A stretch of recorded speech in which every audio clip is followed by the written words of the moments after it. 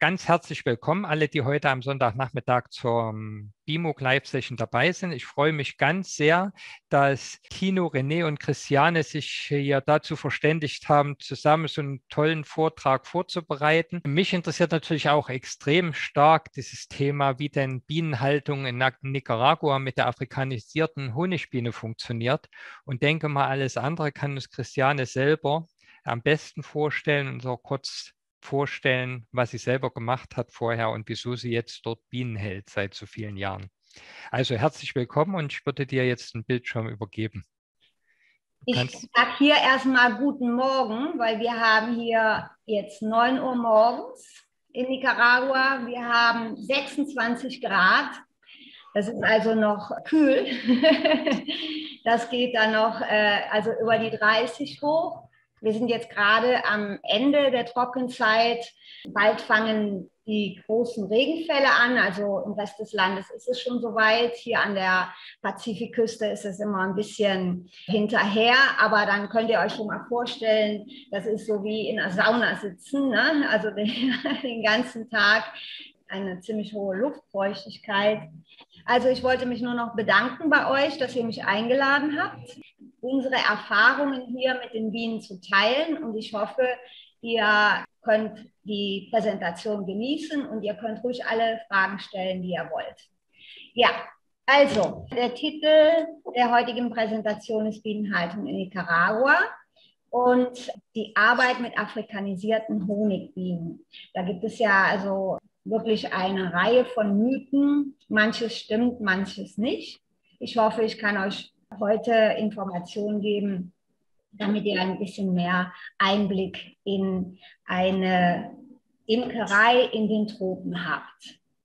Ich würde gerne erstmal ganz kurz zu Nicaragua sagen, dass es ein zentralamerikanisches Land ist. Also wie ihr hier sehen könnt, ähm, das ist das größte zentralamerikanische Land.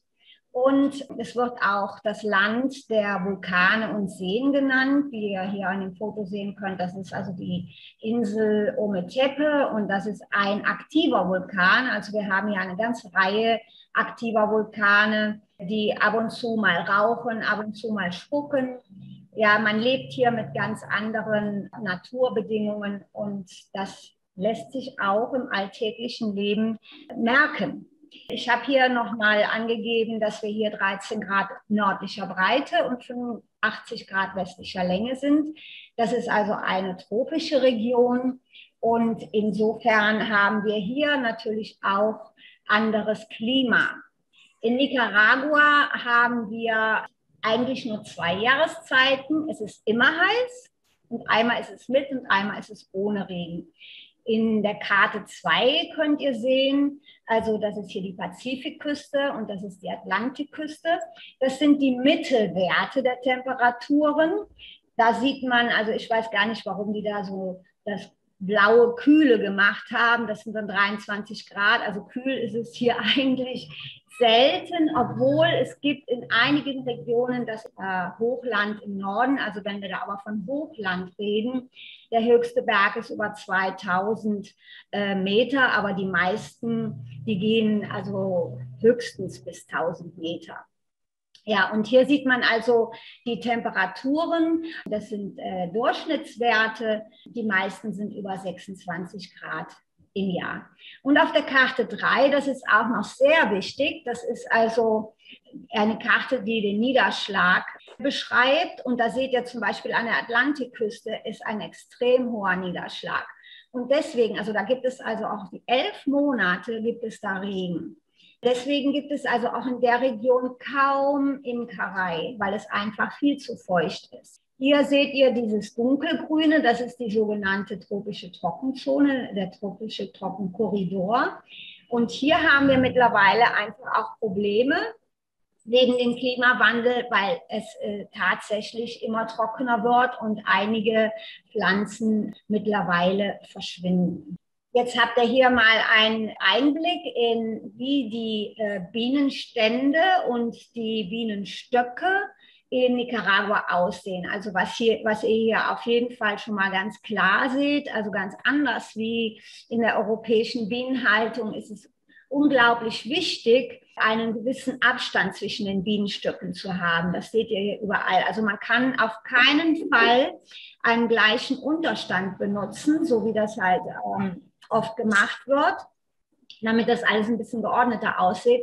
Weil wenn man hier mit einem Bienenstock arbeitet und die Bienen anfangen, sich aufzuregen, dann greift es sofort auf den nächsten Bienenstock über und dann hast du 0, nix, also ein ganzes Chaos. Also meistens gibt es hier die Bienenstände mit bis zu 20 Bienenstöcken, also mehr ist eigentlich äh, nicht ratsam. Und wie ihr hier seht, also das sind die Imker. Die haben also meistens also komplette Schutzkleidung an. Es gibt aber auch wie hier, hier könnt ihr sehen, die arbeiten also auch ohne Handschuhe und der hat also auch nur eine Jeans an. Das sind also Imker, die also jetzt langjährige Erfahrung haben, die ihre, ihre Stöcke kennen und die wahrscheinlich auch relativ immun sind gegen die Stiche schon. Also es ist durchaus möglich, auch ähm, anders zu arbeiten. Das ist hier ein Bild, wo ihr seht, also das ist also bei bei einer Erntezeit, ne, also da dieser Bienenstock, der ist voll Honig, da sieht man ein großes Bienenvolk in diesem Stock ist und ihr könnt auch sehen, also da sitzen die Bienen also auch äh, auf, auf dem Körper drauf. Also hier muss man schon ganz gute Nerven haben, weil das ist also äh, ein ziemliches Spektakel immer. Und hier bei der, könnt ihr auch sehen, bei der Ernte ist es so, das wird also meistens direkt vor Ort gemacht. Hier seht ihr, das ist also im Bienenstand. Das ist so eine Schleuder, also eine manuelle Schleuder. Und da werden dann die ersten äh, Filtermaßnahmen über ganz normale Siebe gemacht. Ne? Das wird dann später natürlich auch nochmal, wird das nochmal weiter verarbeitet. Und dann ist noch was anderes, was ich euch zeigen wollte. Also wie ihr seht, also wir sind in einer tropischen Region. Das heißt, es ist ein unglaubliches Wachstum. Wenn man da äh, so, äh, zum Beispiel, das wird ja immer gekürzt, also mit der Machete.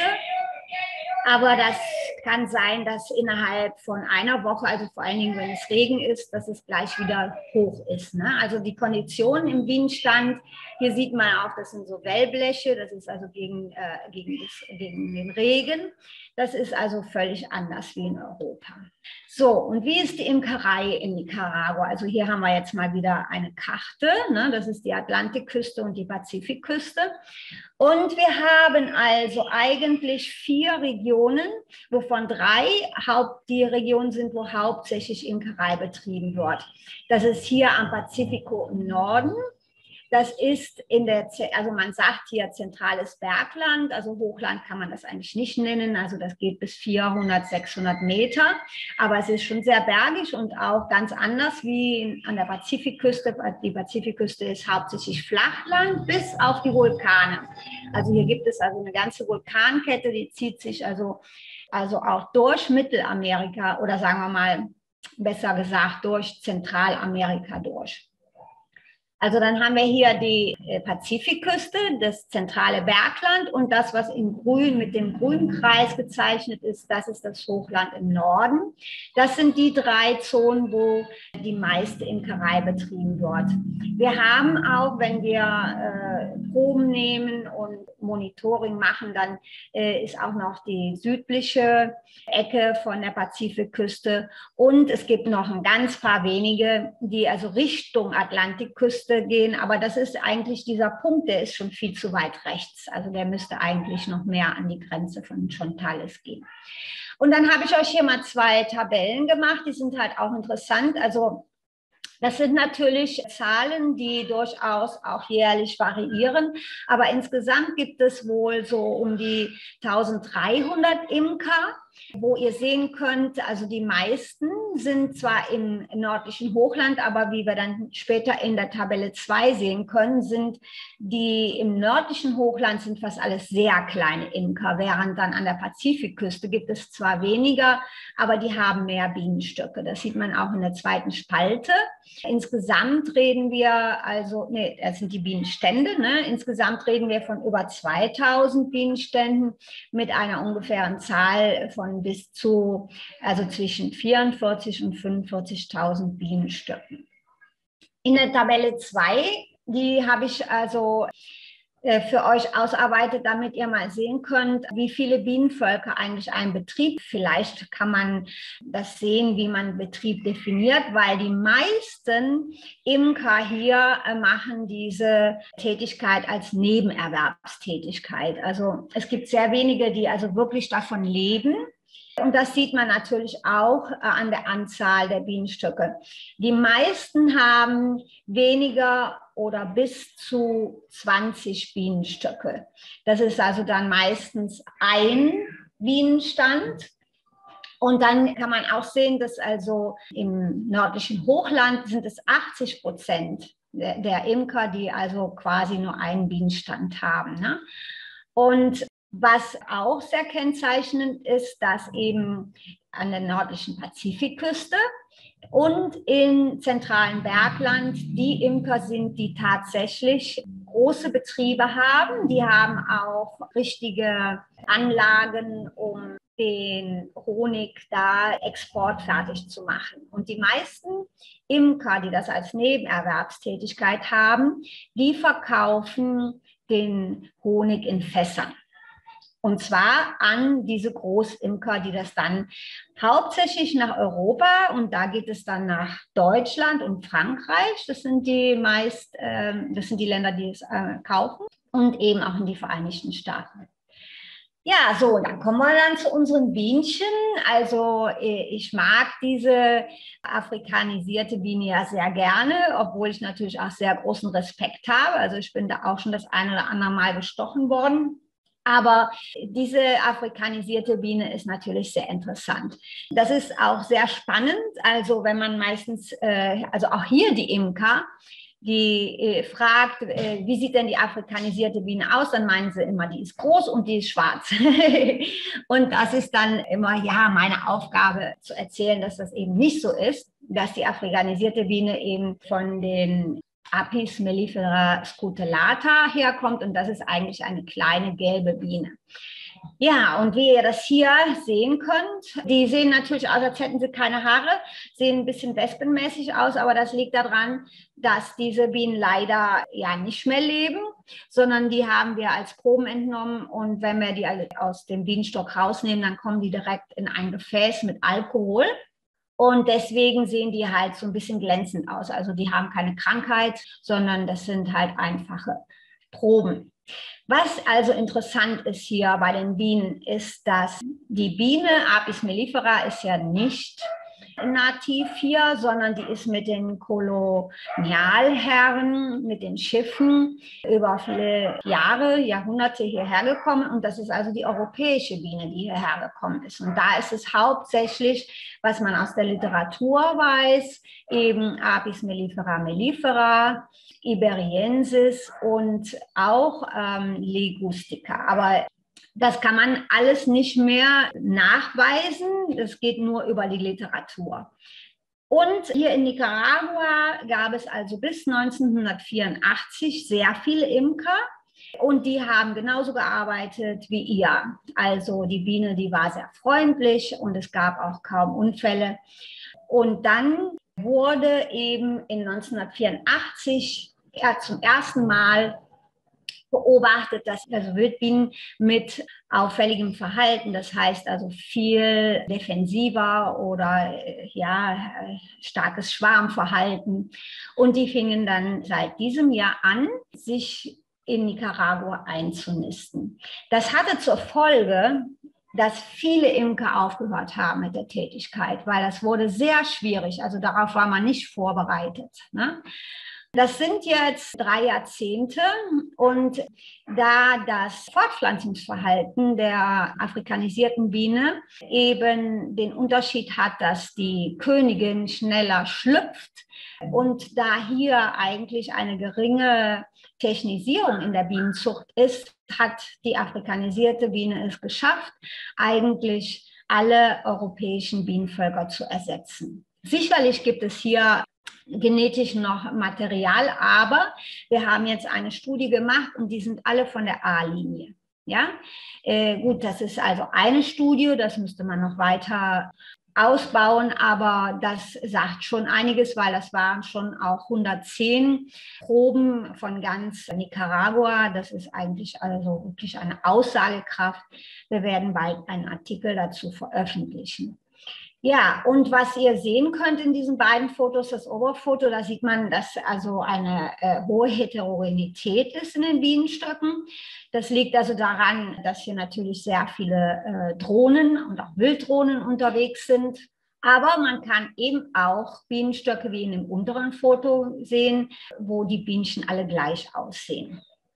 Ja, zur Produktivität will ich euch dann sagen, es gibt hier einen Durchschnitt von 25 bis 45 Kilo Honig pro Jahr pro Stock. Das ist relativ wenig und das liegt aber einfach auch daran, dass die Imkerei hier sich die Bienen eigentlich der Flora überlassen.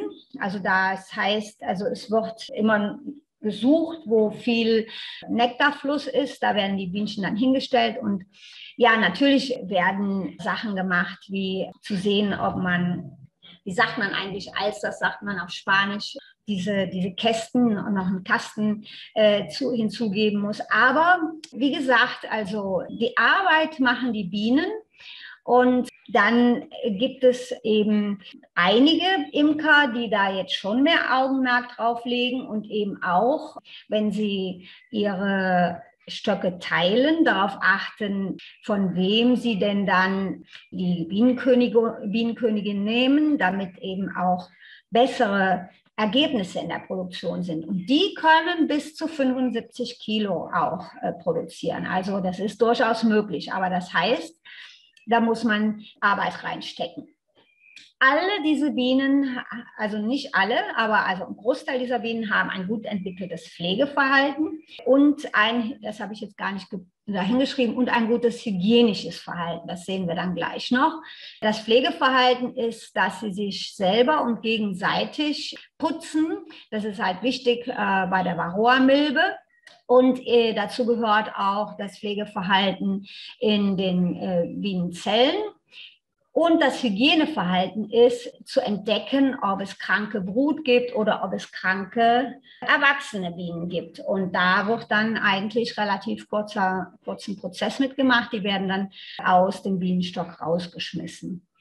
Sie haben ein hochgradiges Schwarmverhalten. Das ist darauf zurückzuführen, dass sie eben die Genetik der afrikanischen Biene haben. Die müssten das haben, weil die Bedingungen in Afrika eben nicht so wie in einer Zone wie in Europa, wo ähm, ständig Flora ist, sondern da in Afrika ist es oftmals so, dass sie lange Strecken zurücklegen müssen, um eben neue Nektarquellen zu finden. Daher kommt dieses hochgradige Schwarmverhalten. Und das hat sich genetisch vererbt. Dann das andere Verhalten, was die Imkerei bedenklich macht, ist eben das Verteidigungsverhalten. Also viele sagen ja aggressive Bienen. Ich sage das ja immer nicht. Ich sage ja, das sind eben die verteidigen sich weil es nämlich meistens auch so ist, dass die Bienen von sich aus nicht angreifen, sondern nur, wenn man sie stört. Das geht natürlich sehr schnell, dass sie sich gestört fühlen. Deswegen empfinden die Menschen die afrikanisierte Biene und zum Teil auch zu Recht, weil es natürlich auch einige Todesfälle jedes Jahr gibt. Jetzt zeige ich euch die Produktion. Da habe ich hier Daten, also wenn ich da hier unten wie IPSA, das ist also die offizielle Stelle, vom Landwirtschaftsministerium. Da habe ich jetzt nur die Daten von vier Jahren. Also hier sieht man einen Einbruch. Das war, wo auch der Regen, der, äh, der Regen war sehr schlecht. Das heißt also, es gab sehr wenig Blüten. Das ist ja interessant. Also es ist unglaublich. Also das geht ja da, also zumindest 40 Prozent runter, die Honigproduktion, wenn äh, die Regenfälle mal schlecht ausfallen.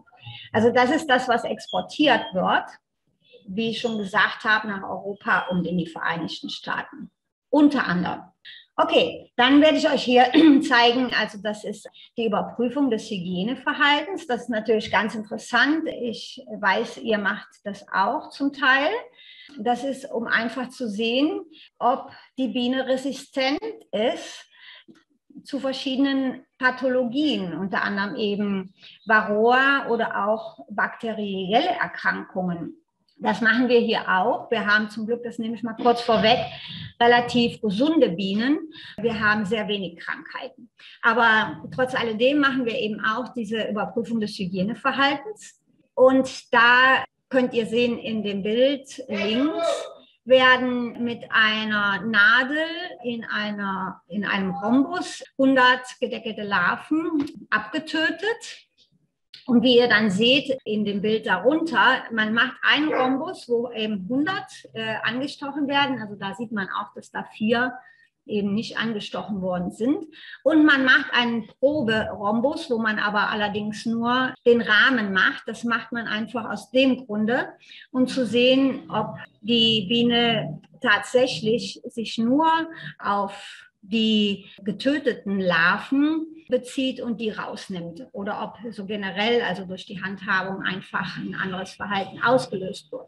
Und wenn man das so sieht wie in dem Foto links unten, dann sieht man, dass, dass der Test also gut verlaufen ist. Also das macht nichts, wenn da so ein oder das ein oder andere eben zu ist. Das heißt, dass einfach der Stich nicht korrekt war.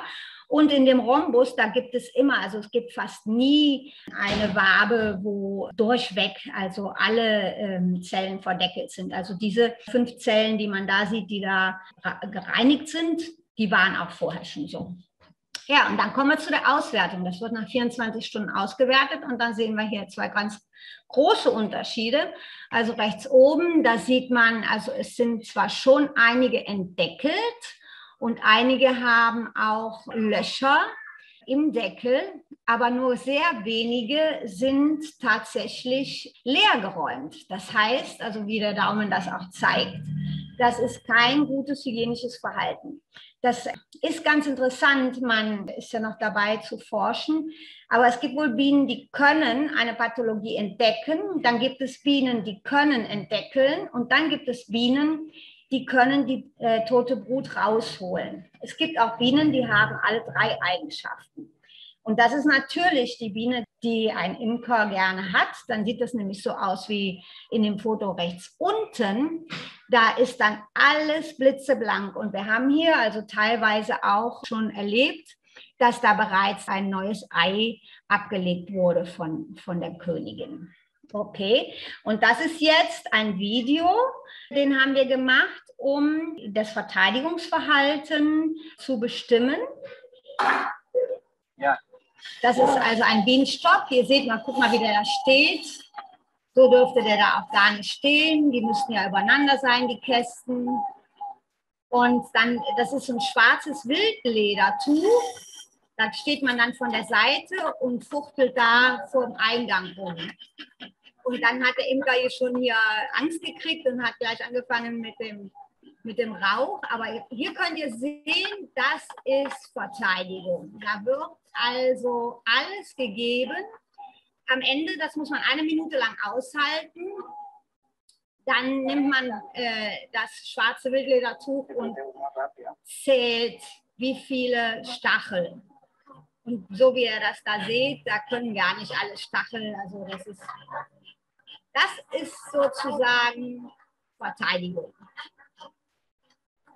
Ja, und diese massive Verteidigung oder diese ganzen Verhaltensweisen sind Charaktereigenschaften von der afrikanisierten Biene und die hat natürlich auch Vorteile. Ich will jetzt so ein bisschen Augenmerk darauf legen in dieser Präsentation heute, wie denn das Verhalten der afrikanisierten Biene in Bezug auf Varroa ist. Also ich weiß, dass es für euch auch ein sehr wichtiges Thema ist und dass ihr viel mehr Probleme habt als wir. Deswegen möchte ich also gerne mit euch teilen, was denn eigentlich die Vorteile von unseren afrikanisierten Bienen sind. Ja, damit ihr erst noch, noch mal einen kurzen Einblick in die Geschichte von Varroa habt. Das hier ist also eine Karte. Das ist laut wissenschaftlicher Literatur, allerdings bis 2014, aber wie ihr seht, also das, was rot ist, das heißt, da ist überall Varroa präsent. Das kann heute vielleicht in den afrikanischen Ländern noch äh, ein bisschen ausgeprägter sein, weil da gab es noch viele weiße Flecken. Das heißt, da gab es keine Daten. Das Einzige, was wir jetzt tatsächlich wissen, ist, dass Australien eben noch keine Varroa-Milbe hat. die versuchen das so weit wie möglich zu verhindern. Ja, dann ist es so, also hier diese Region, das ist die Region, da gehen wir jetzt mal mit den nächsten Bildern hin, Indonesien. Das ist die Region, also wo Varroa zum ersten Mal gefunden wurde. Es war 1904, das war ein holländischer Biologe, Jacobson, Eduard Jacobson, der hat hier in Java, in einer Region, die heißt Semarang, eben diese Milbe gefunden bei den asiatischen Honigbienen. Die hießen damals noch Apis indicus, jetzt heißen die Apis cerana und hat die beschrieben und eben nach Holland an das Institut in Utrecht geschickt und seitdem ist eben der Name Varroa, also das war ein römischer Feldherr, der allerdings auch Imkerei betrieben hat. Und Jakobsoni, das ist eben wegen dem Nachnamen von den Biologen. Und wenn man das Aut dann noch dahinter sieht, das ist Audemanns, das ist der Biologe in Utrecht, der dann die Registrierung gemacht hat. Ne? Also das war dann also Varroa Jakobsoni Aut. Also man ging ganz lange Zeit davon aus, dass es sich um eine Milbe handelt. Dem ist allerdings nicht so was dann auch in den nächsten 50 Jahren eben deutlich wurde, weil man sah, dass die Formen doch sehr unterschiedlich waren und auch das Verhalten der Milbe in Bezug auf den Wirt. Naja, und was wir jetzt hier sehen in der Abbildung 4, die ganzen schwarzen Punkte, das ist also Varroa Jacobsoni bei Apis cerana. Und wir wissen also seit dem Jahre 2000 eben durch genetische Untersuchungen, dass Varroa Jacobsoni eine Schwester hat, eine Schwestermilbe. Die hat eine andere Genetik und die wurde äh, Destruktor genannt, Varroa Destruktor, eben einfach aus dem Grunde, weil sie relativ viel Schaden angerichtet hat. Und die finden wir eben auch in der indischen Honigbiene, wie ihr an diesen bunten Punkten seht da in Japan, Indien und in der ganzen Südküste Südostasiens. Dann gehen wir mal zur Abbildung 5. Und da sind die Punkte einer Varroa-Infestation bei unserer Honigbiene Apis mellifera. Es gab nämlich den Austausch, also den Würzwechsel. Das wissen wir natürlich nicht ganz genau, wann das vonstatten ging, aber das ist erst dann passiert, als es mehr und da ist eben der Mensch eben der Hauptfaktor oder auch der Hauptrisikofaktor, um das mal so zu sagen, weil Apis mellifera gab es ja gar nicht in der Zone, sondern das waren dann eben wirtschaftliche Interessen. Apis mellifera wurde äh, dorthin verschifft oder verflogen und hat dann eben diesen Parasiten von Apis cerana bekommen. Und diese ganzen roten Punkte, die wir da sehen, das ist eben Varroa destructor. Und zwar ist es geht jetzt die Genetik schon ein bisschen weiter und die können das dann mehr spezifizieren. Es gibt also verschiedene Varroa destructor, auch verschiedene Varroa jacobsoni. Also es ist nicht nur eine, sondern es gibt andere Subspezien. Das wird dann Haplotypen genannt. Und es gibt, also wir bleiben heute mal bei zwei, weil das sonst wirklich zu äh, weitläufig wird. Es gibt den Haplotyp äh, K, das ist der koreanische, und den Haplotyp J, das ist der japanische. Der Unterschied ist, dass der koreanische als virulenter bezeichnet wird. Und das liegt einfach daran, dass sie ein ganz ausgeprägtes Fortpflanzungsverhalten haben. Also die können sich sehr stark äh, fortpflanzen, viel stärker als äh, die, die japanische Variante. Und die ganzen roten Punkte, das sind Leider dann auch die koreanische Variante. Es gibt da so ein paar blaue Pünktchen, das ist die japanische Variante. Und dann ist es noch interessant in Papua-Neuguinea, das ist also alles Apis mellifera, da gibt es grüne Punkte und das ist Jakobsoni weil es also mit dem ganzen, mit den ganzen Entdeckungen ging man dann eigentlich davon aus, dass eben in Apis mellifera nur Varroa destructor ist. Aber dann jetzt seit dem Jahr 2008 wurde es auch nachgewiesen, dass es auch Jakobsoni gibt. Dann gibt es noch so einen kleinen schwarzen Punkt in den Philippinen. Das ist noch ein anderer Varroa, der noch nicht genauer identifiziert ist. So, und hier haben wir eine Karte, eine Abbildung, die zeigt die weltweite Invasion. Und jetzt rede ich nur von Varroa Destructor, weil das eben, also soweit wir das heute wissen, eben auch die Milbe ist, die sich tatsächlich ausgebreitet hat. Da haben wir hier mit dem Kreis da in Südostasien, dem, das Ursprungsgebiet, wo dann der Wirtswechsel stattgefunden hat. Und dann war es natürlich, wer auch immer, wieder mal der Mensch, der dafür gesorgt hat, dass das dann schön weiter in die Welt verbreitet wird. Und am Anfang wusste man das natürlich nicht. Ne? Also das, was man jetzt weiß, dass es eben verschiedene Haplotypen gibt. Aber das konnte dann zurückverfolgt werden. Es gibt also dieser japanische Haplotyp ist weil die Genetik in Japan gefunden wurde. Und von da aus ist die denn 1971 nach Paraguay. Eben wieder mal der Mensch, der Bienen verkauft und Bienen gekauft hat, also meistens Bienenköniginnen aber immer mit einem kleinen Bienenstaat. Und da ist dann natürlich auch die Milbe mitgegangen.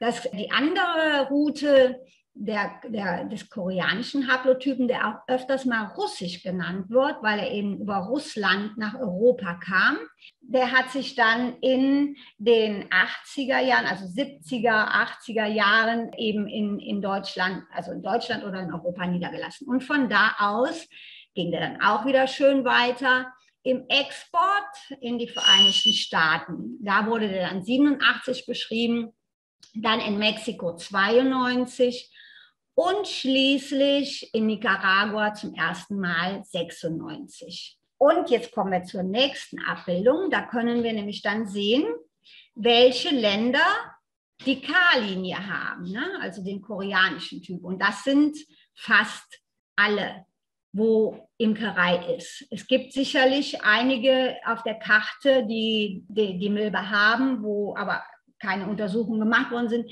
Das ist ja ganz schön, das kann man hier sogar sehen. Hier, da ist äh, Nicaragua. Ich hatte da schon hingeschrieben, weil wir haben jetzt auch den Haplotyp, habe aber noch keine Antwort bekommen, damit hier eben auch mal so ein rosa Fleckchen gemacht wird, weil wir haben auch den koreanischen hier in Nicaragua. Auf der Abbildung 8 sehen wir, welche Länder die japanische Linie haben. Und da ist es noch interessant, alle, die die japanische Linie haben, haben auch die koreanische.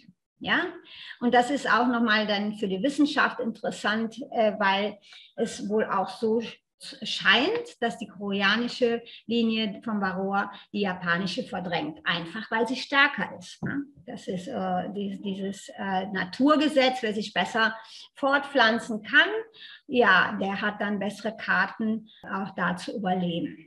Hier haben wir also jetzt die Auswirkungen, die Auswirkungen, was ist eigentlich die Wichtigkeit für die Imkerei und für die Landwirtschaft.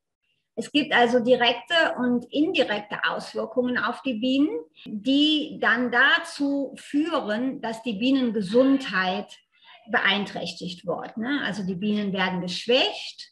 Je nachdem, wo das stattfindet, gibt es eine erhöhte Sterblichkeit. Und es ist auch beschrieben worden, dass Varroa ein Faktor, ein wichtiger Faktor in dem Bienenvolk Kollaps ist. Diese Auswirkungen haben also direkt für die Imkerei diese Konsequenzen, dass sie eine reduzierte Produktivität haben und dass eben auch die Rentabilität der ganzen Produkte, also nicht nur Honig, sondern auch Pollen, den, der Royal Gelee und auch Wachs, also alle Produkte, die man haben kann, wenn man eine Imkerei durchführt. Die haben eine starke Verminderung in der Produktivität und in der Rentabilität. Woran liegt es? Es gibt eine direkte Beziehung zwischen dem Befallsgrad und der Honigproduktion. Vor allem, was wir wissen, in, in europäischen und nordamerikanischen Ländern. Dann ist es auch nochmal ganz wichtig zu wissen, dass eben die Fortpflanzungsphase der Milbe direkt an der Fortpflanzungsphase der Bienenkolonie gebunden ist. Ne? Das liegt daran, dass die Milbe sich in der Zelle fortpflanzt und heranwächst zu einer erwachsenen Milbe, die dann auch schon besamt ist und so sich dann als erwachsene Milbe über die erwachsenen Bienen innerhalb vom Bienenstock und dann eben auch außerhalb vom Bienenstock weiter verbreiten können. Ich finde das immer ganz wichtig, Augenmerk darauf zu legen, dass es da nicht nur um die Imker geht, sondern dass es eben Auswirkungen auf die Landwirtschaft im Allgemeinen gibt. Es ist äh, klar, wenn es eine erhöhte Sterblichkeit ist, innerhalb der Bienenvölker, dann gibt es verminderte Bestäubung, Bestäubung, es gibt weniger Produktion und es gibt eine Qualitätsminderung in den landwirtschaftlichen Produkten. Ich habe hier mal dann noch so ein Bild vom Deutschen Imkerbund, die haben das mal als ähm, Grafik dargestellt. Dann haben die den Höchstwert der Produktion eben mit Bienen als 100 Prozent angegeben und wie das eigentlich aussieht, wenn die Bienen nicht ihre Bestäubungsarbeit machen. Es gibt andere Bestäuber, wie andere Insekten, Schmetterlinge. Es gibt auch Vögel und es gibt sogar auch äh, Säugetiere, die bestäuben. Äh, auch die Fledermaus ist da sehr wichtig. Aber die Biene ist schon Bestäubungsinsekt Nummer eins.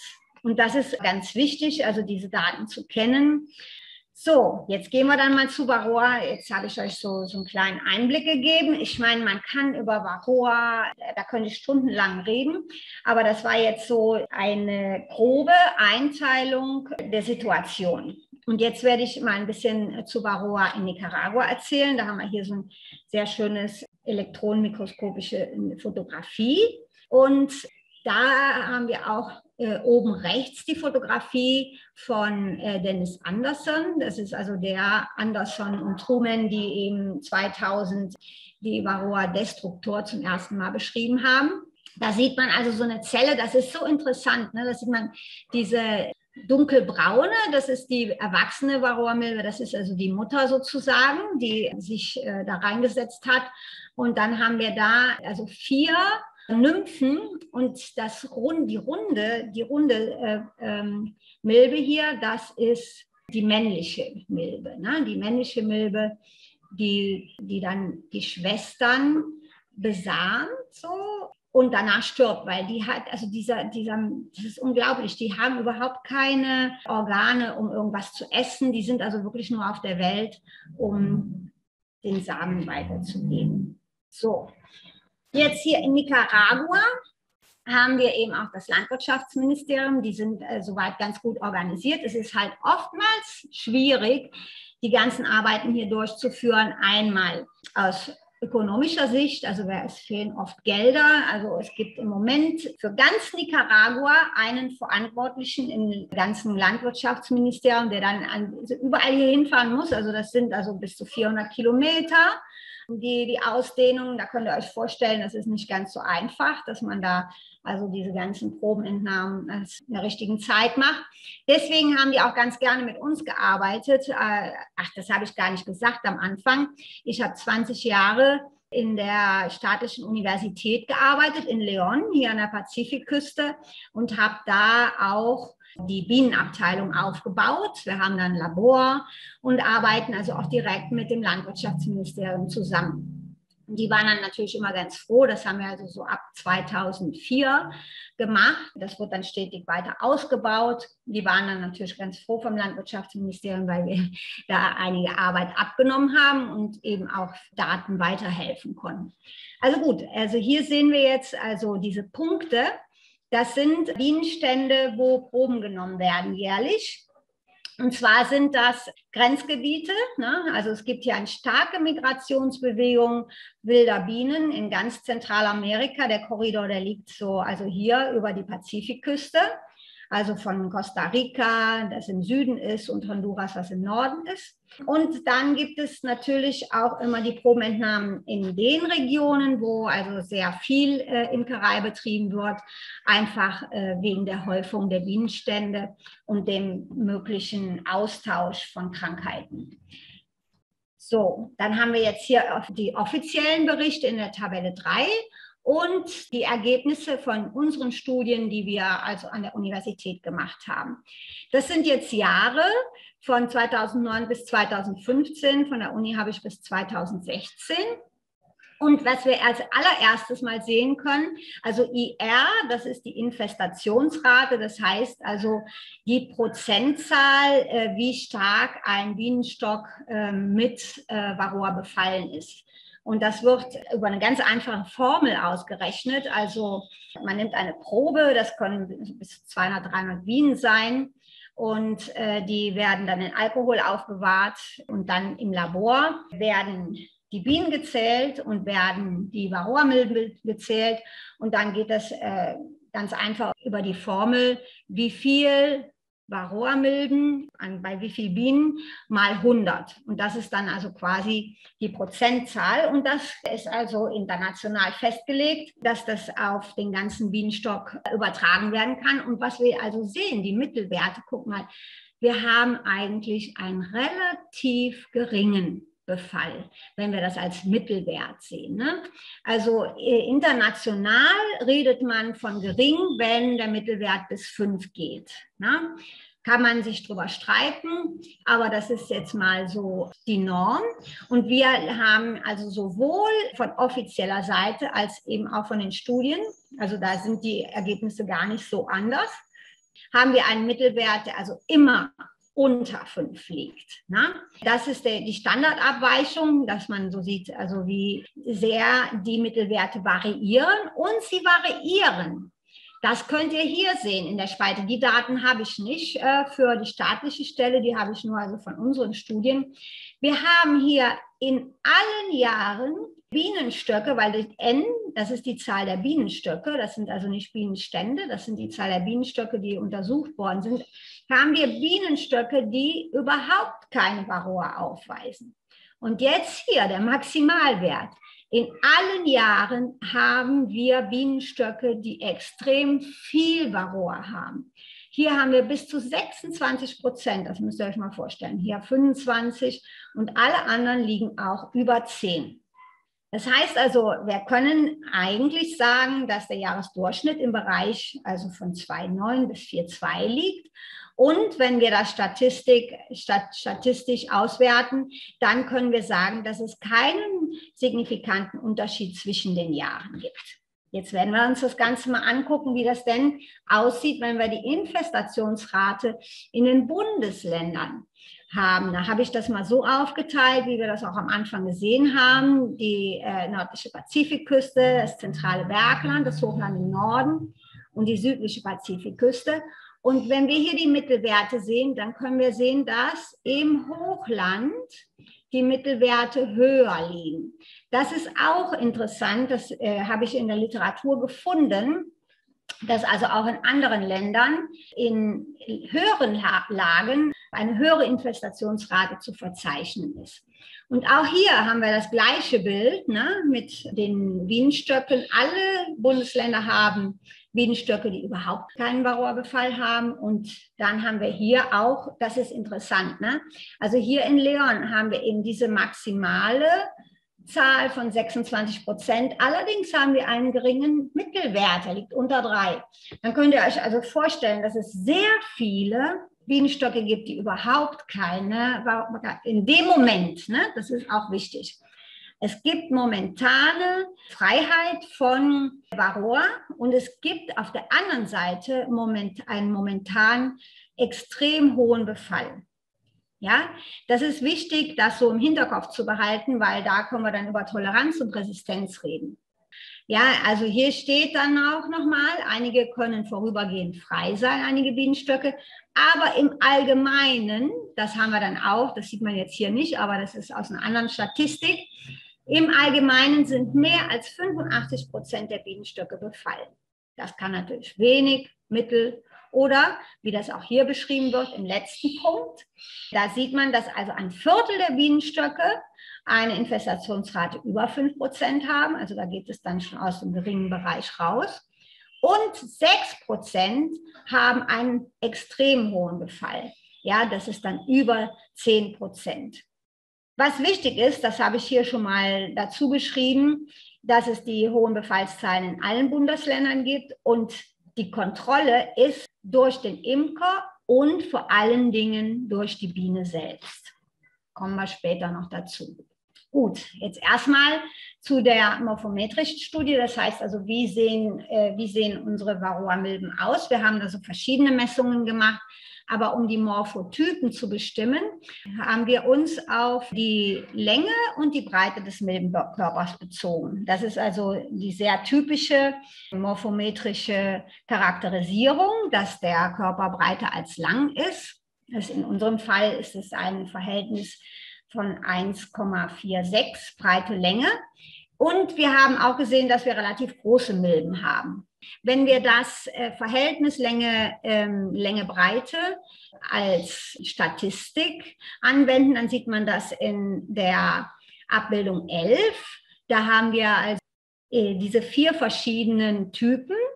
Und in der Abbildung 12 können wir sehen, wie diese vier verschiedenen Typen innerhalb von Nicaragua verteilt sind. Ja, äh, das auch, also die, diese Atlantikküste, das ist, das liegt daran, dass die Programme sind sehr schwierig. Also ich hätte das gerne gewollt, dass eben nur ein Stück von der Atlantikküste, also wirklich nur dieser, oh, dieser Zipfel hier äh, oben in Gelb gewesen wäre. Aber das machen die, das machen diese Programme nicht. Oder ich weiß nicht, wie ich es besser, besser, äh, besser machen könnte. Ja, aber das Wichtige ist also, dass wir sehen, dass wir diesen Morphotyp 1, der eben in der, Tab in der Abbildung 11 mit äh, diesen schwarzen Punkten ist, der ist überall vertreten. Ne? Und dann gibt es also die anderen Morphotypen, die ja mehr oder weniger in allen Bundesländern oder in manchen auch gar nicht vertreten sind.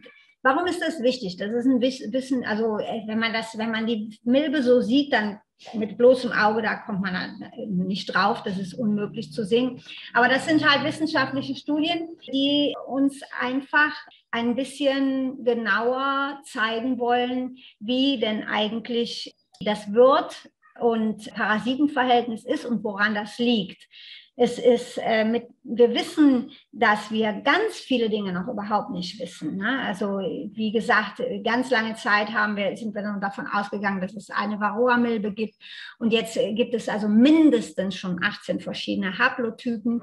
Und ist auch wichtig zu wissen, wie und welche Charaktereigenschaften eben dazu führen, von Parasitenseite aus, dass es äh, eben dieses starke Bienensterben oder eben als Faktor von starken Bienensterben gibt. So, in dem nächsten Bild sehen wir also hier diese genetische Studie, die wir gemacht haben, um zu bestimmen, äh, was wir also für einen Haplotyp haben, den koreanischen und den, oder den japanischen. Das ist jetzt alles Laborarbeit. Da sehen wir dann ein PCR-Bild. Das sind also diese Banden, die dann auftauchen. Und bei uns ist eben nur eine Bande aufgetaucht, die bei 376 und das heißt, dass also unsere Milben alle vom koreanischen Typ sind. Klar, das ist eine Studie. Das muss man natürlich immer noch weiter untersuchen, aber das ist auf jeden Fall schon mal ein Wegzeiger. So, dann gehen wir jetzt mal dazu, äh, was wir machen in der Behandlung. Und da ist Nicaragua ganz interessant. Also die Produktion hier ist geregelt durch äh, verschiedene Normen. Die heißen hier Enton, das ist die Norma Técnica Obligatoria Nicaraguense und das ist ein verbindlicher technischer Standard. Und zwar für die Herstellung, Verarbeitung und Kennzeichnung von ökologischen Landprodukten. Was heißt das? Das heißt, dass fast alle Imker hier eben ähm, ökologischen, organischen Bienenhonig produzieren da äh, ist es natürlich wichtig zu wissen, dass also einige Mittel nicht angewendet werden dürfen und auch in der Krankheitsbehandlung. Bei Varroose werden hier nur diese Säuren sind erlaubt, ne? also das ist die, die Nummer 5312. Da steht dann, dass man hier Ameisensäure, Milchsäure, Essigsäure, Oxalsäure anwenden darf und von den ätherischen Ölen Menthol, Thymol, Eukalyptol oder Kampfer. Ich habe das in Rot gemacht. Hier wird hauptsächlich Oxalsäure be benutzt, weil die anderen Säuren sind einfach extrem schwierig zu handhaben in Temperaturen wie diesen. Also da ist es also oft vorgekommen, dass also die Bienen also 1, 2, 3 abgeflogen sind und auf Nimmerwiedersehen. Bei der Oxalsäure geht es ein bisschen besser. Was allerdings ist natürlich schwierig, die Oxalsäure, da muss man wissen genau, wie man die anwendet. Es kann auch sehr gefährlich sein für den Menschen, wenn man das zubereitet. Also wir haben das als Pulver, das könnt ihr sehen. Unten links, das ist also von Pronamiel. Das ist der einzigste, die, äh, der einzigste Geschäft, wo man äh, das Vertrieb, wo man äh, das kaufen kann. In Managua ist das. Und es gibt es auch nicht immer. Ja, und dann habe ich noch interessante Informationen, weil es ist auch oft gut, bei Parasiten nicht immer das gleiche Mittel zu nehmen, sondern eben auch zu wechseln. Und wir haben hier eine Studie, das war so, es gab einen Imker, der ist zu mir gekommen und hat gesagt, ich habe das ausprobiert. Ja, und der hatte das erstmal ausprobiert bei den Kühen und zwar gegen die Zecken. Und dann hat er gesagt, ich habe das auch bei meinen Bienen ausprobiert und es hat funktioniert. Und es handelt sich um die Pflanze, die heißt mit wissenschaftlichem Namen Guasia amara. Äh, hier äh, bekannt als Hombre Grande, also der große Mann, und in Deutschland bekannt als Bitterholz. Und ich habe da noch mal ein bisschen nachgeguckt, auch als Fliegenholz. Ich weiß nicht, das ist ja nochmal interessant, da noch mal ein bisschen genauer hinzugucken. Das ist natürlich kein Baum, der in Europa wächst, sondern eben dieses Bitterholz Quassia amara ist äh, aus Südamerika, hauptsächlich Brasilien. Gibt es natürlich aber auch hier äh, wächst hier. Und das ist wichtig. Also wenn wir, in Organ, wenn wir über organische Produktion nachdenken, dann ist es eben auch wichtig, dass man nicht unbedingt immer Mittel aus dem anderen, aus der anderen Ecke von der Welt sich ankarren lässt. Das hat dann auch wieder wenig mit organisch zu, zu tun, sondern dass man eben äh, Mittel nimmt, die vor der Haustür sind. Ich habe das dann gestern noch mal ein bisschen nachgeguckt. Also das sind Quasinoide, äh, die, die Wirkstoffe. Und es gibt tatsächlich auch in Deutschland Bäume, die diesen Stoff haben. Allerdings müsste man da noch mal nachgucken. Das wäre noch mal interessant, wenn irgendjemand eine äh, Untersuchung da machen will. Der Götterbaum, ne? der also oft in Parks steht und der auch Nektar hat, den die Bienen für ihre Honigproduktion benutzen. Das ist wohl ein, ein sehr herber Nektar. Der wird, also dieser Baum, der wird aber auch als extrem invasiv. Der kommt natürlich auch nicht aus Deutschland. Der wird dann irgendwie, glaube ich, aus Japan, äh, China eingeschifft. Genau, nach Österreich war das, weil die haben da äh, die Blätter auch für die Seidenspinner benutzt. Ja, der Mensch, der ist halt so, der schifft immer alles von Hü nach Hott und dann kriegt er das nachher nicht mehr unter Kontrolle wenn es dann invasiv ist. Aber eben dieser Götterbaum, das wäre nochmal interessant, ähm, wenn jemand da mal eine Studie machen will. Das ist also in den hölzernen Teilen, also sowohl beim Bitterholz eben als auch beim Götterbaum, sind diese Guacinoides drin. Und die werden dann ausgekocht. Ne? Und wir haben dann, also dieser Imker, der hatte, der hatte mir das gesagt und wir haben dann eine Studie dazu gemacht, mit verschiedenen Verdünnungslösungen. Und wir haben dann halt herausgefunden, dass eine 20-prozentige Lösung also tatsächlich die wirksamste ist und eben auch nicht dazu führt, dass die Bienen äh, auf und davon sind oder wie das eben auch bei anderen Lösungs- oder bei der Mutterlösung passiert ist, dass die, die Bienenkönigin aufgehört hat, für zwei Wochen Eier zu legen. Also die 20-prozentige, die ist sicher und wirkt. Bevor ich dazu komme, wie wir das anwenden, will ich noch sagen, dass also in dieser Norm, die wir hier haben, sagt wird, dass äh, sowohl Pestizide, also Pestizide, Insektizide, obwohl das sind ja Insektizide, das muss man sich mal vorstellen. Man benutzt Insektizide, um äh, die Varroamilbe zu töten bei einem Insekt, was die Biene ist. Also da, das ist, das ist dann schon mal äh, auch schwierig. Also da rede ich dann von Amitras und Pumafos. Das sind also diese Mittel, die auch gegen, was weiß ich, gegen Zecken und so weiter eingesetzt werden. Gibt es im Moment keine Registrierung hier in Nicaragua? Also es gibt keines der Mittel, das man tatsächlich anwenden sollte, darf. Ja, die Behandlung, also als erstes mal hier diese, diese Grafik unten rechts, die ist ein jährlicher, eine jährliche Linie, die fängt da im Oktober an, geht bis September. Weil das ist so die Zeit, also im Oktober äh, ist hier noch voll Regenzeit bis November. Das ändert sich jetzt leider alles äh, ein bisschen.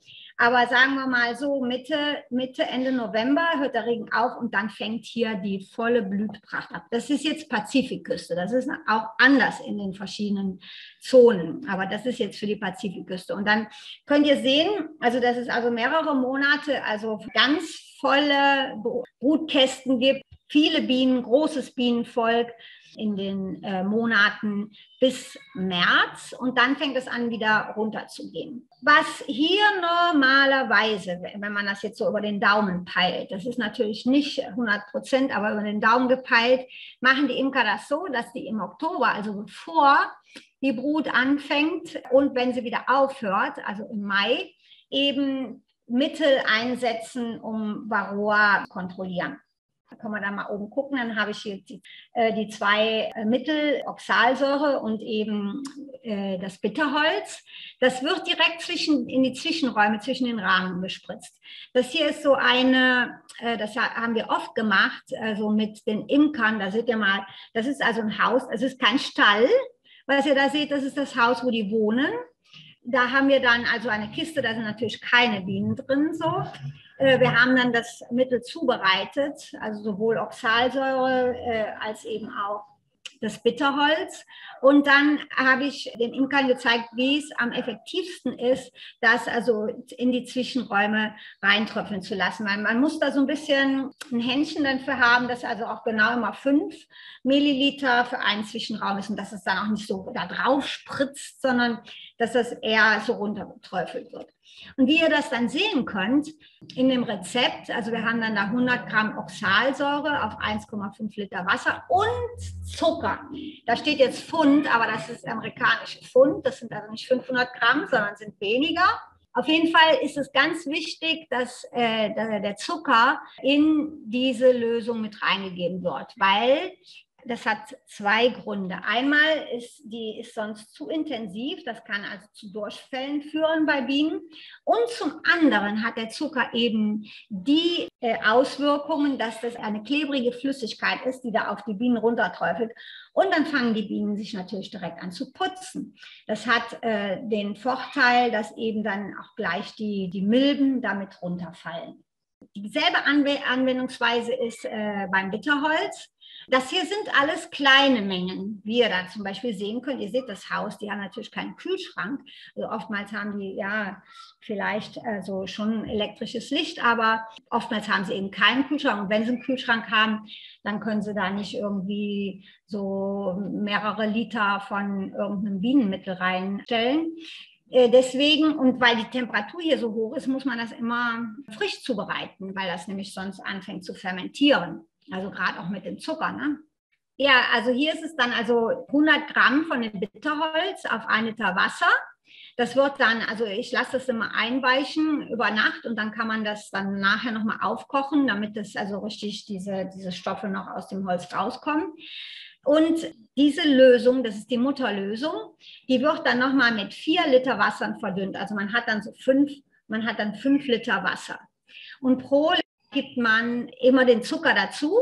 Diese Flüssigkeit, wenn das dann die 20-prozentige Lösung ist, da werden dann auch wieder 5 Milliliter in die Zwischenräume gegeben. Und wir machen das so, das muss viermal hintereinander angewandt werden mit einem Abstand bis zu vier Tagen. Es gibt in der Literatur, wenn ihr das nachschaut, ganz äh, verschiedene Anwendungsweisen, aber für unsere Region hier ist es wichtig. Warum?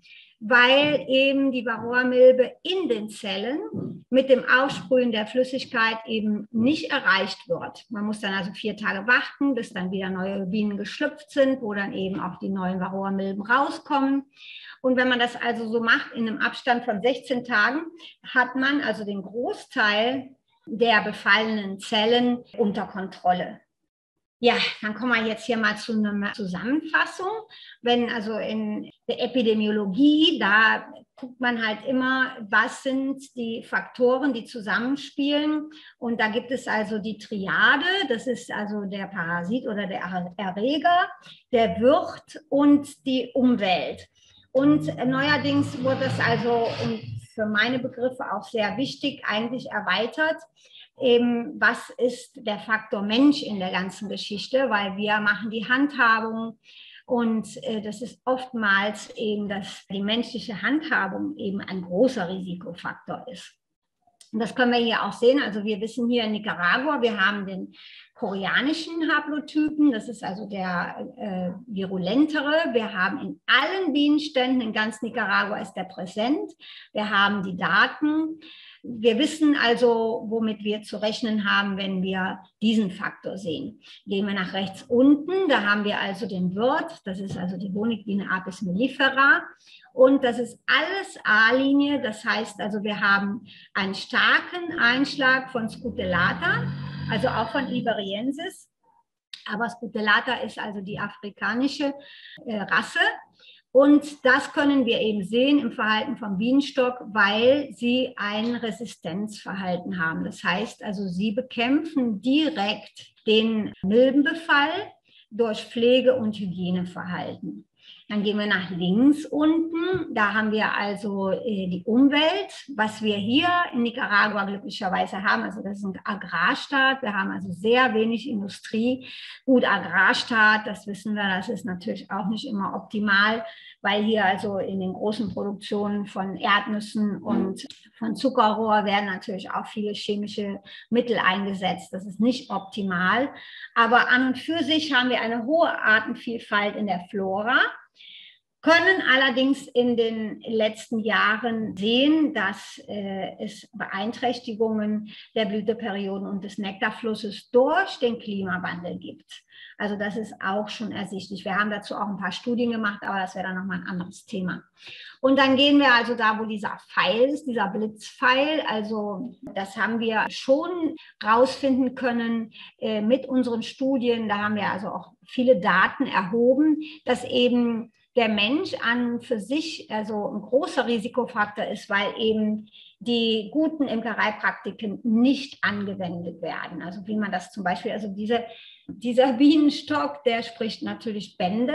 Sie hat das vielleicht auch ein paar Fotos gesehen, also die, die Waben, äh, die Brutwaben sind oftmals dunkel, also es ist kein frischer Wachs und oftmals wird die Fütterung, also wenn, wenn jetzt die Honigernte ist, dann wird oftmals viel zu viel Honig rausgenommen und dann eben nachher mit Zuckerwasser gefüttert. Also ganz viele, also das ist auch nochmal ein Thema für sich, aber alle diese normalerweise guten Imkereipraktiken werden in vielen Fällen nicht angewandt. Und dadurch, dass unsere Biene hier so gesund ist, liegt es einfach vor, dass wir keine großen Schäden haben. Also wir haben das also äh, mit, äh, in vielen Schulungen mit den Imkern gemacht und es bessert sich mittlerweile, weil sie das ähm, auch verstehen. es ist mehr Arbeit, es ist natürlich schwierig. Ihr müsst euch mal vorstellen, ihr geht bei 35 Grad mit diesem, also eingepackt in, in den Schutzanzug und müsst dann da so zwei Stunden, man guckt natürlich, dass man es nicht so lange da in, bei den Bienenständen rumhantiert, aber es ist sehr viel und schwere Arbeit. Das kann ich euch aus Erfahrung sagen. Ja, dann gibt es hier noch einen letzten Punkt, den ich mit euch da diskutieren will, dann vielleicht das ist über die Resistenz und die Toleranz. Das wird oftmals verwechselt. Es ist eigentlich ganz einfach. Toleranz bedeutet, dass die Bienen mit dem Varroa-Befall leben können, sogar zeitweise mit hohen Befallszahlen. Während die Resistenz, das bedeutet, dass die Bienen den Varroa-Befall äh, aktiv bekämpfen. Und zwar indem sie die Fortpflanzung der Milben stören oder sogar unterbinden. Na? Und da haben wir eben äh, das hygienische Verhalten, was wir da schon vorher gesehen haben, dass sie befallene Brut äh, entdecken können und die dann, wenn es ein hundertprozentiges hygienisches Verhalten ist, entdecken, rausholen, ganz säubern und für die Königin wieder zur Eiablage fertig machen. Das sind also die beiden Mechanismen. Ne? Die Toleranz die ist durch die Genetik der Biene bestimmt. Ne? Es gibt also Bienen, die sind weniger anfällig, bis hin, dass sie also tatsächlich immun sind. Also hier reden wir natürlich nicht von Varroa, sondern auch von anderen Krankheiten. Das kennen wir ja also auch von Vir Viruserkrankungen. Und die Resistenz, das ist also ein Verhalten. Ja, die Resistenz ist ein aktives Verhalten, was allerdings auch genetisch ähm, übertragen wird. Das sind also die beiden Mechanismen und da wirkt natürlich die Umwelt und auch die Ernährung positiv oder negativ drauf ein, sowie eben die Charakteristiken äh, der Varroa-Milbe, also welche Fruchtbarkeit, Virulenz und wenn sie dann auch Überträger sind, welche Virenlast sie dann mitbringen. Da haben wir dann zwei Möglichkeiten, wir können das als natürliche Selektion überlassen. Das ist das, was hier in Nicaragua passiert. Es gibt also so gut wie keine Zuchtprogramme. Es gab immer mal wieder Ansätze, das hat aber irgendwie nicht funktioniert. Das heißt also, die Biene hier hat deswegen eine hohe genetische Diversität, was auch dazu führt, dass sie eben ein hohes Toleranzpotenzial hat, weil einfach die, die weniger tolerant sind, eben natürlich äh, aussortiert werden. Oder aber man kann eben eine Selektion durch Züchtung machen. Das heißt also, dass eben nach den Merkmalen, die man gerne haben möchte, züchtet. Ja, jetzt kommen wir auch schon fast zum Ende. Da haben wir dann noch ein Diapositiv gemacht, also zu, den möglichen, zu dem möglichen Virenbefall. Also das ist deswegen wichtig, weil ich habe euch gesagt, also dass wir relativ äh, wenig Ausfälle haben und das liegt wohl auch daran, dass wir zum Glück bis jetzt relativ wenig Viren haben. Es gibt mittlerweile äh, Verdachtsmomente, aber es gibt keine offiziellen Berichte und keine Studien darüber. Es gab mal eine Studie da in 96, also da wurde aber von anonymer Stelle, ich habe mir den Bericht durchgelesen, also da steht nicht, wer das gemacht hat und wo das gemacht wurde, aber dass es hier wohl einen Nachweis von den Viren der akuten Bienenlähmung gibt bei vielen toten erwachsenen Viren, Viren und bei erkrankter Brut. Aber das war 96, da war der, da ist die Varroa-Milbe gerade erst angekommen. Ne? Äh, das sind einfach noch Daten, die wichtig sind, um zu verstehen, dass Varroa hier in Nicaragua nicht so, so einen großen Einschlag hat. Ja, und dann danke ich erstmal für euer Interesse und stehe euch gerne zur Verfügung. Christiane, vielen Dank erstmal für deinen tollen Vortrag. Also, ich hätte mal an dich eine Frage. Wie, wie sind denn die Imker organisiert in Nicaragua? Sind die überhaupt nicht organisiert? Würsteln die alle vor sich alleine hin oder wie, wie ist das? Die Imker hatten bis 2008, 2010, also sagen wir mal, ja, bis vor ungefähr 10, 12, 15 Jahren, äh, keine äh, richtige Organisationsstruktur. Es gab so verschiedene Organisationen äh, auf kleiner Ebene. Sie hatten auch überhaupt keine Lobby in der Politik, also auch im Landwirtschaftsministerium. Also das wurde einfach, ja, das war nicht interessant. Also ging ja immer nur um Kühe oder um, um Hühner, aber, aber Bienen hatten keine Lobby. Und das hat sich dann geändert. Das war ganz interessant. Also Swiss Contact, die Organisation Swiss Contact, die hat also hier in Zentralamerika sowohl zur Imkerei als auch zu anderen landwirtschaftlichen Branchen, also viel dazu beigetragen, dass sich die Imkerei besser entwickeln konnte. Wie haben Sie das gemacht? Sie haben das gemacht, indem Schulungen äh, organisiert wurden, Materialien äh, zum Teil gespendet oder zu günstigen Preisen äh, verkauft wurden und eben die Organisationsstruktur aufgebaut wurde. Es gibt einen internationalen Imkerverband, den gab es auch schon vorher, aber er funktionierte nicht. Jetzt gibt es diesen Verband und die haben auch einen Sitz im Gremium vom Landwirtschaftsministerium. Und es gab also die Jahre, wo Swiss Contact hier war, wurde sehr viel äh, erreicht. Das ist jetzt also, aber irgendwann laufen die Programme ja aus, das kennen wir ja.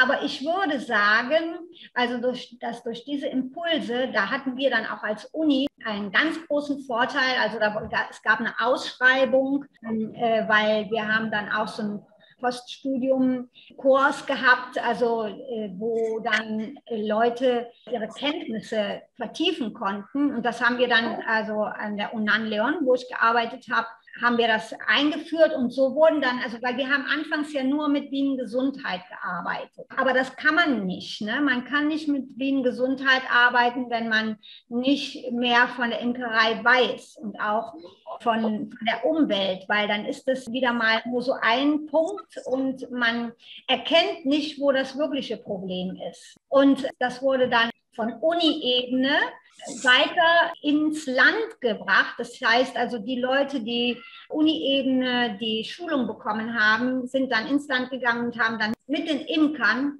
über diese Themen gearbeitet. Und da war ein Thema eben auch die Organisation und vor allen Dingen, was auch wichtig ist, die Registrierung. Aufschreiben, was passiert, wann gibt es Probleme, was sind die Zusammenhänge. Das ist eben ganz wichtig, um Einblick darauf zu haben, und auch Maßnahmen ergreifen zu können. Ist eure Uni die einzige, die sich damit beschäftigt oder gibt es da noch mehr Leute, die sich damit beschäftigen?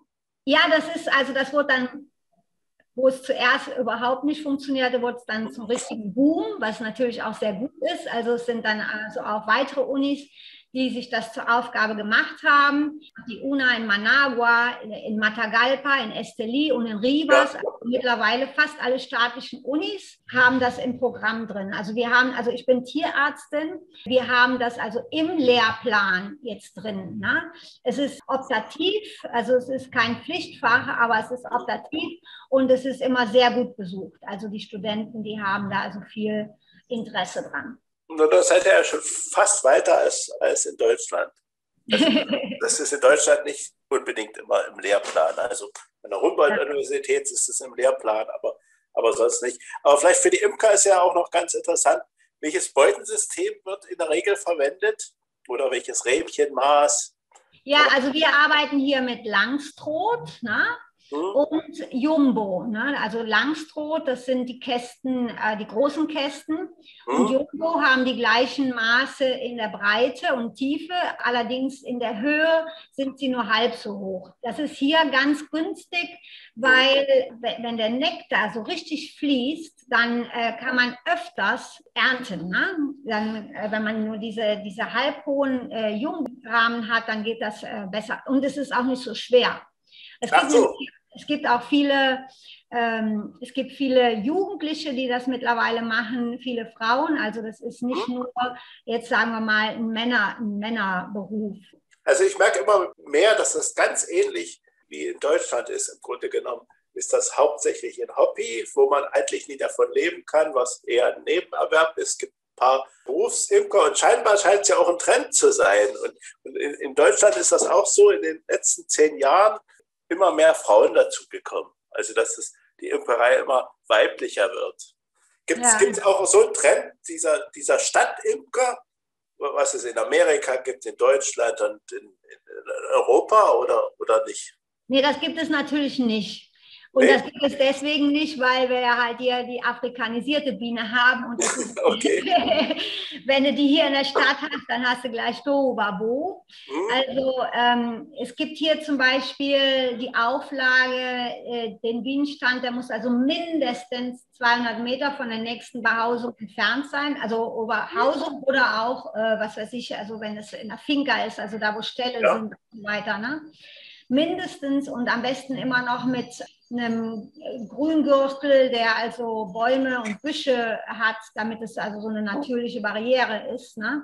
Das ist wichtig. Also es gibt hier, also wir haben öfters das Ding, dass wir gerufen wurden, weil ein, ein Bienenschwarm sich ins Haus gesetzt hat und mhm. ja, meistens ist das dann so, dass dann die Feuerwehr kommt und mhm. dann, dann wird dann da mit Wasser und Seife, das, ist, das tut einem natürlich dann als Imker ganz schön im Herz weh. Und wir versuchen natürlich, das äh, immer so zu handhaben, dass diese wilden Schwärme dann aus dem Hausdach entnommen werden können, was allerdings auch nicht immer funktioniert. Und dann geht natürlich dann auch die Sicherheit vor.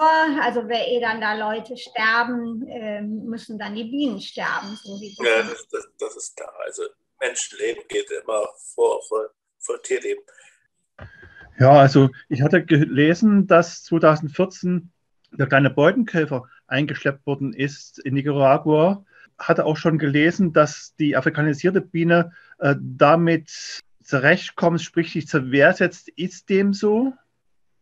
Ja, absolut. Also der kleine Beutenkäfer, der ist hier seit Ende 2014 zum ersten Mal gesichtet worden, ist jetzt in vielen Bienenständen präsent. Das Interessante ist, also wir können, öfters haben wir sogar einen hohen Befall von bis zu 60 Käfern, also die dann rausgelesen wurden aus dem Bienenstock. Allerdings haben wir fast nie Larven sehen können, was natürlich äußerst interessant ist. Ne? Also das heißt also, die vermehren sich, aber die Biene äh, lässt es nicht zu, dass also in, in ihren Waben da eine hohe Präsenz vom, äh, von Käferlarven ist. Ne? Also die hat das absolut unter Kontrolle und das ist dann auch wieder äh, parallel zu äh, den Erkenntnissen, die wir über die Bienen in Südafrika haben. Da kommt der Käfer ja her. Und da ist es ja wie mit der Varroa-Milbe aus äh, Indonesien, wo die ja lebt mit der asiatischen Honigbiene. Die afrikanische Honigbiene lebt mit dem Käfer. Da gibt es ganz interessante Bilder und Videos. Also die sperren, die sperren den Käfer sozusagen ein. Also das ist richtig wie so ein Gefängnis, was die bauen. Aber der Käfer, der hat auf seine Art gelernt, in dem Gefängnis zu überleben, weil der die Technik der Trophylaxie kennt. Das heißt also, die Bienen sperren den Käfer ein und füttern ihn. Ja, also das haben wir hier natürlich, also das ist äh, äh, einmalige Geschichten, die man da sehen kann. Also, aber was ich dir sagen kann, ist, das ist absolut richtig. Äh, wir haben den Käfer und er ist kein Problem für uns. Das heißt, es müssen auch keine chemischen Stoffe eingesetzt werden, um den in den Fallen abzutöten. Nein, was hier gemacht wird, äh, wenn er auftaucht in einem Bienenstand, dann wird also um den Bienenstock, wo der Käfer ist, äh, die Erde in einem Quadratmeter aufgegraben und mit Kalk besäuert, ne, dass dann die, event die, die eventuelle Fortpflanzungsstadium der Puppe von dem Käfer, die ist ja in der Erde unterhalb vom Bienenstock, das heißt also, dann wird der, äh, dieser Zyklus da unterbrochen. Und im Bienenstock selber, manchmal machen die dann auch auf die, auf die Ränder Kalk, aber äh, es wird kaum irgendein anderes Mittel eingesetzt.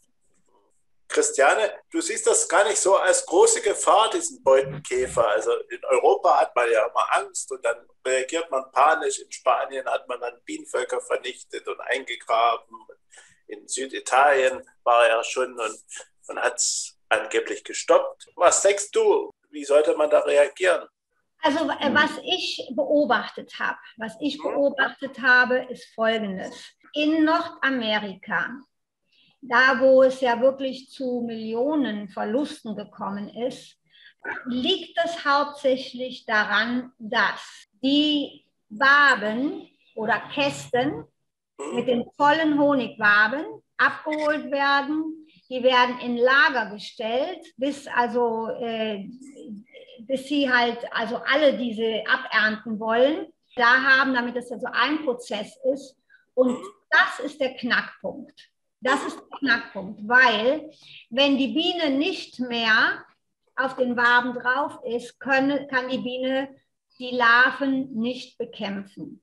Und das ist da, wo dann eben die Larve den fürchterlichen Garaus in den Waben macht. Ne? Also äh, die entwickelt sich da zwar vielleicht nicht weiter, kann nicht bis zum Puppenstadium kommen, aber zumindest die Eier, weil das sind ja Unmengen von Eiern, die der Käfer in die Wabe legt, die schlüpfen und machen den Garaus und den ganzen Verlust von dem Honig. Ne?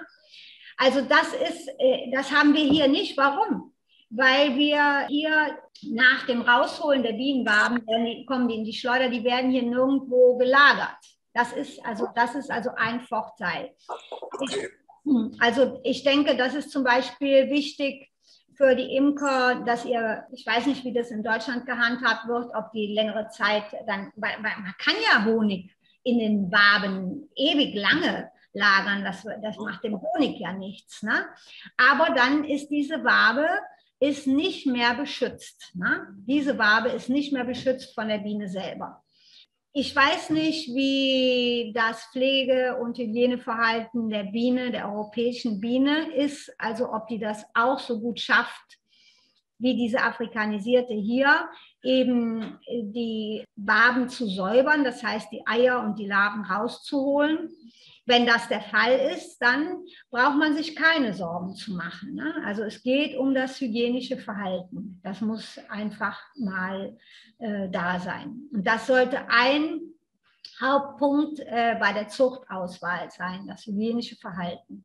Australien habe ich eigentlich nicht so gute Berichte gehört. Dort waren noch schlimme Bilder mit dabei. Insofern bin ich nach wie vor, was den kleinen Beutenkäfer betrifft, sehr pessimistisch, sollte er hier nach Deutschland eingeschleppt werden. Okay, also ich hoffe es für euch, dass das kontrolliert wird. Also wer den einschleppt, ist ja klar. Das ist der Mensch und da ist es ganz wichtig, ihr wissen, wie, wie der Käfer eigentlich nach Amerika kam. Der kam nicht mit den Bienen. Der kleine Beutenkäfer, das ist ein Coleoptero, der nämlich gerne von fermentierenden Früchten lebt.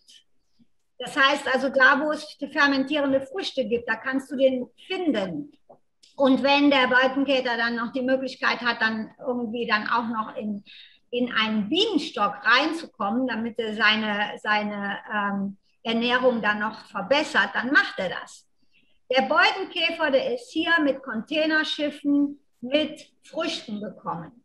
Das, so ist der nach Nordamerika gekommen. Ne? Natürlich ist es auch so, dass über Imkermaterialien, also Austausch, äh, was weiß ich, äh, von, von Bienenpaketen oder so, dass da der Beutenkäfer auch mit verbreitet werden kann. Aber es ist ganz wichtig, dass ihr wisst, wisst, dass auch selbst wenn ihr keine Bienenpakete kauft, dass es durchaus möglich ist, dass über Fruchtcontainer der Käfer nach Europa kommen kann. Ich glaube, so kam der auch nach Portugal. Es gab, ich, ich glaube, das war auch 2014 oder da, aber das wurde dann relativ schnell gesichtet und er hatte dann keine Möglichkeit, sich bis zu den Imkern auszubreiten.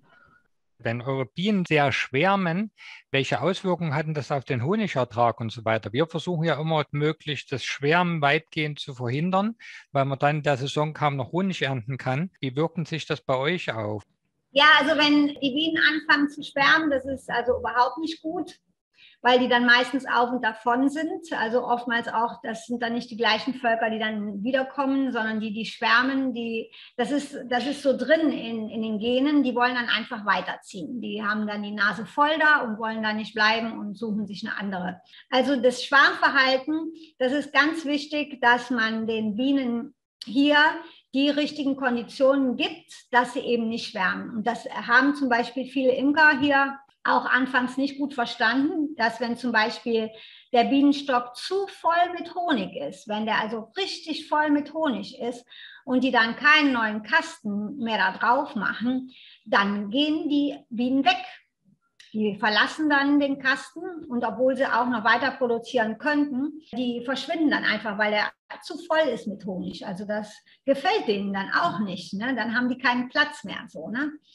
Das ist ganz wichtig, dass der Imker weiß, welche Konditionen er den Bienen geben muss. Wenn die Konditionen gut sind, das heißt auch, wenn die Bienen nicht zu oft gestört werden und so weiter und wenn genug Nektar da ist und Wasser, dann bleibt die Biene dann hat sie keinen Grund äh, zu schwärmen. Und wenn sie schwärmt, dann äh, wirkt sich das natürlich negativ auf die Produktionsmenge aus. Gut, danke. Hm? Ich habe noch eine Frage, wenn, sie, wenn die Biene selber sich so um die Varroa kümmert, dass es vielleicht nicht kritisch wird, warum wird denn dann überhaupt behandelt? Oder behandeln alle oder gibt es auch große Teile, die nicht behandeln? Wie läuft denn das ab? Also es gibt große Teile, die nicht behandeln weil die auch vielleicht gar nicht wissen, wie hoch der Befall ist, weil auch nicht überall getestet wird. Ne? Manche sehen dann, dass da Varroa-Milben sind, aber ja, das ist also meistens nehmen die sich auch nicht die Zeit, um zu gucken, ob das jetzt wirklich ganz viele sind. Aber wenn sie die sehen, okay, aber wenn das Bienenvolk stark genug ist und wenn die Eiablage ähm, gut aussieht von der, von der Königin, dann machen die sich natürlich auch keine weiteren Gedanken. Die, die das dann anwenden, ist, äh, wenn sie sehen, dass die ja, dass vielleicht eben das Volk nicht genug Bienen hat, dass die Produktion hinterherhinkt. Also dann überlegen sie schon mal, ja, woran das liegen kann. Und dann lassen sie halt eine Probenentnahme machen. Und dann sehe, oder also was, äh, was ich halt bei den Schulungen auch immer gemacht habe, ich habe das den Imkern immer gezeigt, wie sie selber bestimmen können, was sie für eine Befallszahl haben, weil das ist ja sehr einfach, dazu braucht man ja kein Labor. Und äh, wie ich das am Anfang schon erwähnt habe, es gibt hier einen, es, eine Zeit lang waren es zwei Personen, aber auch jetzt ist es wieder nur eine einzige Person für das ganze Land, was da so diese Probenentnahme machen kann. Also da kommt man ja nicht weit. Und deswegen ist es eben wichtig, dass die Imker wissen, wie sie das selber machen können. Und das machen viele jetzt auch selber. Ne? Und wenn sie dann sehen, hups, da ist ja viel zu viel. Und wenn sie dann nicht gerade in der Honigproduktionsphase sind, dann sagen sie, okay, dann werde ich jetzt mal einfach meinen Bienchen helfen und da mal entweder Oxalsäure oder Bitterholzlösung geben, damit die Befallsrate runtergeht. Ich finde es eigentlich auch wichtig, dass man das vorher immer bestimmt, weil es gibt oftmals diese Vorgehensweise, das wird also auch in, in der Veterinärmedizin auch mit Kühen oder Hunden oder Katzen oder was weiß ich gemacht, dass immer prophylaktisch einfach immer was gegeben wird, was ich gar nicht gut finde. Ich finde so eine prophylaktische Gabe von Mitteln nicht gut, weil es eben dann auch dazu kommen kann, dass die Erreger oder in dem Fall der Parasit dann später da gar nicht mehr drauf reagieren. Also das ist bei Varroa zum Glück äh, bis jetzt noch nicht so stark vorgekommen. Aber was noch nicht ist, das kann ja noch kommen. Deswegen ist es einfach wichtig, also bevor man eine therapeutische Behandlung macht, also eben, dass es keine Präventivbehandlung ist, sondern dass man einfach bestimmt, okay, jetzt ist es Zeit, also es ist wirklich wichtig, dass wir hier äh, ein Mittel geben. Weil jedes Mittel, auch wenn es organisch ist, es ist immer eine Invasion in das Leben vom Bienenstock. Ich habe noch eine Frage. Was für Sorten Honige macht ihr denn? Also es gibt es nur bedingt, weil eigentlich der Honig hier immer polyfloral ist. Sagt man das so auf Deutsch? Also, naja, zumindest verstehen wir es. Okay, ja, tut mir leid, manchmal weiß ich die deutschen Begriffe gar nicht. Also es gibt eine Tendenz mit einer bestimmten Blütenrichtung, je nachdem, wo die Bienenstände sind. Aber es ist nie monofloral. Also es gibt nicht so wie, was weiß ich, Kleehonig oder ja, Waldhonig, wo, wobei der Waldhonig ja auch also verschiedene Blüten hat. Bislang ist es noch nicht Thema. Aber das ist auch interessant. Also wir haben dann, äh, also auch beim Pollen, man kann hier Pollen kaufen. Mhm. Ähm, der kommt, glaube ich, aus China. Also wobei ich mich dann auch frage, so, ob das besser ist, vielleicht äh, auch nicht zu kaufen. ähm, ja, und dieser Pollen, der ist einheitlich so ein dunkles Gelb. Ne? Hm? Wenn du Pollen hier hast von einem Bienenstock, dann hast du alle Farben. Das ist so schön. Ne? Du ja. hast dann von ganz hell über gelb, orange, rot bis zu braun, mhm. weil du halt einfach, ja, du hast halt den Pollen von so vielen verschiedenen Pflanzen. Und so ist auch der Honig. Ne? So ist auch der Honig. Es gibt dann immer eine Tendenz, klar, wenn der, der Nektarfluss, der ist dann bei, bei einer Pflanze, die, die heißt die gelbe Blüte, Flor Maria, das ist Baltimora recta, was eigentlich für den Rest, für die Landwirtschaft ist es ein Unkraut. Und da produzieren hier die, die Imker produzieren damit also unglaubliche Mengen Honig. Mhm. Und das gibt es nur mit einigen anderen Pflanzen, die dann so äh, dominierend sind. Ne? Aber das reicht, das reicht nicht aus, um zu sagen, das ist jetzt also eine Produktion, die den Titel so und so haben könnte. Ne? Okay, okay. Aber, aber ihr habt eben, im Gegensatz zu uns, habt ihr im Prinzip das ganze Jahr Tracht. Also es gibt natürlich die Phasen, wo also wenig Blüte ist äh, und dann mhm. kommt es auch darauf an, wo dann die Stände sind. Deswegen ist also, äh, machen ja viele Transhumans. Äh, also die Monate bei starkem Regen, die Monate bei starkem Regen, da haben wir natürlich kaum Nektar. Ne? Das ist dann also, da kann man also von äh, die zwei Monate, die sehr starken Regen haben, das ist also hier an der Pazifikküste September und Oktober. Mhm. Äh, da gibt es kaum Nektar. Da ist also da werden auch meistens die Stöcke äh, reduziert. Dann ist dann nun die, Brut, die Brutkiste, sagt man das? Brutraum. Hm? Brutraum, genau. Da ist dann nur der Brutraum weil es nämlich hier extrem ist, wenn man da schon mal leere, einen leeren Kasten oben drauf hat, da nisten sich dann ratzfatz, also ganz andere Insekten ein und dann hat man auch dann diese Motte da einnistet und das gibt dann natürlich auch immer verheerende Folgen. Also deswegen wird das dann auf den Brutraum reduziert, bis, bis dann wieder die Zeit ist und das wird dann meistens eben mit äh, Zuckerwasser dann induziert, dass die äh, Königin dann einfach anfängt, ähm, mehr Eier zu legen und dass dann das Bienenvolk darauf vorbereitet wird, dass äh, so eine kommende Blüteperiode vor der Tür steht. Ja. Hier, hier war eine Frage, in Chile gibt es Ulmhonig. Gibt es das in Nicaragua auch? Was für ein Honig? Ulmen, von Ulmen Honig. Nee, Ulmen gibt es hier nicht, nee. nee. Also Chile ist ja ein ganz anderes Klima. Also ich weiß nicht, also äh, Ulmen sind mir jetzt hier eigentlich nicht so bekannt, nee. Mhm, mhm, mhm. Und, und, wer kauft so den Honig? Kann man das so sagen? Gibt es da... Ja, das ist zum Glück in den letzten Jahren äh, hat die Bevölkerung angefangen, mehr Honig zu kaufen. Mhm. Also, weil eigentlich ist das fast alles verkauft worden in den Export. Die Leute, die, die essen hier lieber Zucker und das, und das zu Genüge. Ja. Aber jetzt, also es gibt mittlerweile also eine befreundete Imkerin von mir, die mhm. hat also ihr, ihren Betrieb so aufgebaut, die macht keinen Export, also die macht den ganzen Verkauf im Land, aber auch abgefüllt, ja. also jetzt abgefüllt und registriert. Weil hier auf, auf, auf dem Markt kann man auch gehen und dann, dann, haben die verkaufen dann Honig in leeren Colaflaschen. Ne? Also, das, also ohne Etikett, also das wird viel auch so gemacht. Ne? Aber da hat also eben auch, was ich eben gemeint hatte vorhin mit Swiss Contact, die haben da also wirklich gute Arbeit geleistet, dass da eben auch mehr Wert drauf gelegt wird, dass das hygienisch einwandfrei verpackt wird und, und so weiter und so fort. Also jetzt mittlerweile kauft die Bevölkerung schon, aber der Großteil des Honigs geht immer noch in den Export. Ich habe noch eine Frage hm? zu dem Honig selber. Das ist hier bei uns kristallisiert ja der meiste Honig bis auf Akazie. Bleibt der bei euch flüssig oder kristallisiert er auch? Wie ist denn da der? Solange du den nicht in den Kühlschrank stellst, bleibt er flüssig. also das hier die Temperatur, also wenn der Honig hier äh, bei Raumtemperatur kristallisieren würde, dann wäre das kein Honig. So, dann ist da, was weiß ich nicht, alles drin. Also der Honig, so lang, also wenn du den in den, also das machen wir manchmal, wenn wir so Cremehonig, cremigen Honig herstellen wollen, dann stellen wir den so eine kleine Portion in den, in den Kühlschrank, ne, dass der dann so äh, kristallisiert.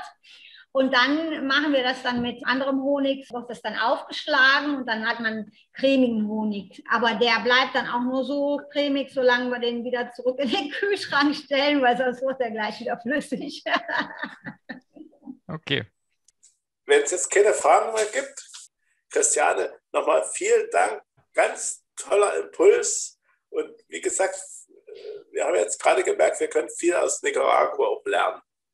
Also ich wollte auch bloß ganz, ganz vielen Dank sagen, dass du dir Zeit genommen hast. Jetzt wird es langsam wärmer bei euch, ne? Ja, jetzt haben wir mittlerweile 33 Grad. Also wir hatten eben bei 26 angefangen, jetzt sind es schon 33. Gut, also ganz vielen Dank auf jeden Fall, dass du dir Zeit genommen hast. Für nee, vielen Dank, dass das, wir sind alle echt begeistert. Und wie gesagt, dieser Austausch, der bringt ja auch total viel Impulse auch zu uns